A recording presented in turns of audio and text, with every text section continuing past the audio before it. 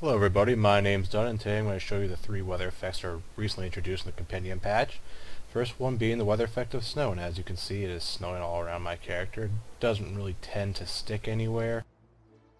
Uh, it's pretty. It doesn't really obscure the vision either, so if you want to use a weather effect, this is one. The next, of course, is going to be Moonbeam. Alright, this is the new Moonbeam effect. As you see, it makes everything kind of look sparkly, glittery, uh, in the shadows, it gives it some purple tints, moving at the base.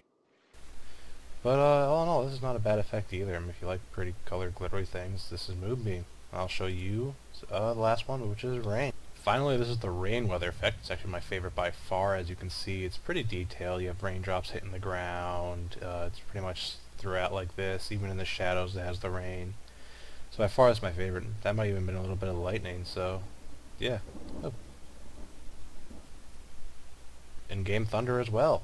So honestly, of my of the three weather effects, this is my favorite, and I hope you enjoyed it. And in case you're wondering how I switched it in the same game, uh, just disconnect and you can basically switch the weather effects at will. But dying doesn't do it on like you know gear and all that. You just have to disconnect. Anyway, hope you enjoyed the video and hope you like the new weather effects. Like I said, it's any level of the compendium. Just have to buy it. It's ten bucks and enjoy.